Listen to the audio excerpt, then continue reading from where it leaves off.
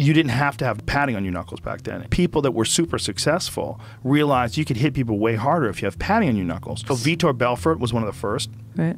He was 19 years old and he entered into the UFC, UFC 12, Dothan, Alabama, in 1997, and just beat the fed of everybody with gloves on. Using an instrumented heavy bag which measures force. We're going to use the boxing glove and then we're going to use your bare knuckle. Boz, when you did the boxing glove, we had 641 pounds of force. And when you had your bare hand, it was 776 pounds of force. Yellow. That's fascinating. Despite transferring less force, the early development of the UFC proved gloves are favored over fists when fighting. This match between a barehanded karate practitioner versus a gloved boxer highlights this as well. The karate practitioner is getting his strikes in and even though a bare hand is capable of transferring more force, that does not mean he will transfer more force. Regardless of knuckle conditioning, the bare hand will not favor well over certain portions of the body. With the Kyokushin karate, you're sparring and it's bare knuckle. And some guys have their hips here, right? Mm-hmm. So that's how I broke this one also. You hit a hip, think you have to get the liver. Forehead being an example. The forehead is designed to take impact, thus there is a good chance the small bones in your hands may break if you were to transfer a strike full force into that portion of the head. But the moment you put on the big boxing gloves, whipping your hands full force becomes less threatening regardless of where the strike lands. Thus, the boxer will be given less to think about and more options to safely land when letting his hands go. Simplifying his job. Simplicity. As Leonardo da Vinci has said, simplicity is the highest form of sophistication. Mike Tyson highlights the same with a contrary example.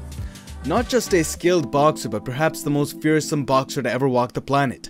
Mike getting caught up in a street fight, letting his hand go as he normally would, breaking his hand in end result. With this knowledge, it is an unbiased opinion to say gloves are indeed a weapon. Of course not to the same extent as say brass knuckles, but in definition of a weapon, a thing designed or used for inflicting bodily harm or physically damage, it simply helps you do just that more effectively by increasing the safety thus simplicity of doing so.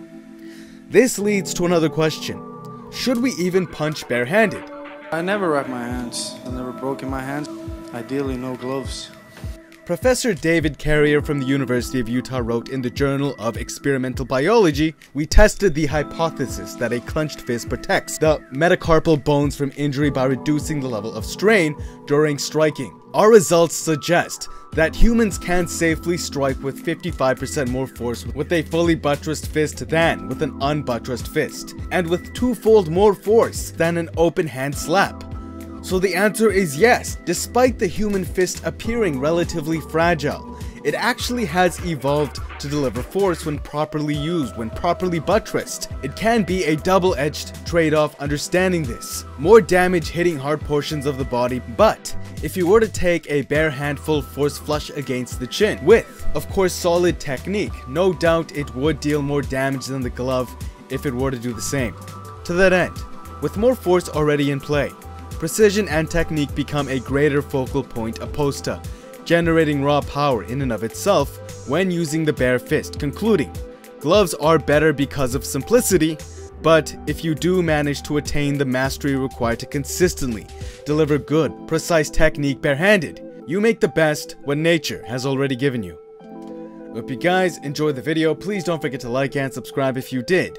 It's good karma, and until next time, peace.